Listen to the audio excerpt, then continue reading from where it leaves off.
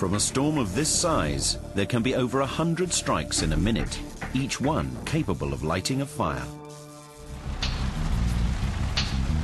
Gusts of wind from the storm drive low-lying flames up the trunks of trees into the uppermost branches. It is now transforming into the most dangerous type of wildfire, a crown fire.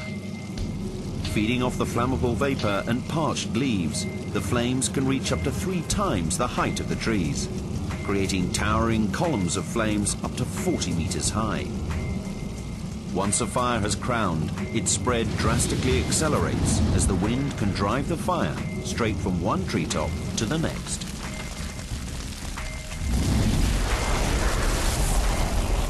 Once the fire is burning over a 30 or 40 metre high wall, so you've got a wall of flame of 40 metres in height.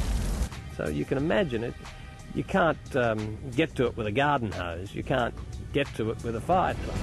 The Dead Man Zone is the most hazardous place a firefighter can be caught. It's the area of unburnt land to the side of a fire front. The danger is if the wind changes direction.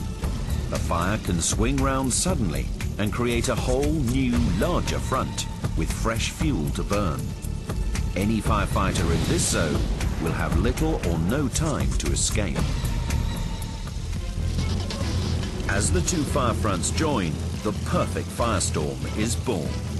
The incredible heat generated by the single fire causes the air above it to rise at up to 180 kilometers per hour, in the process sucking in cooler air from ground level, just like a chimney. The fire now takes on a life of its own, becoming a self-sustaining, unstoppable firestorm with temperatures peaking at over 2,000 degrees Celsius. As it grows, the winds around it cause it to rotate, creating swirling superheated vortices similar to tornadoes.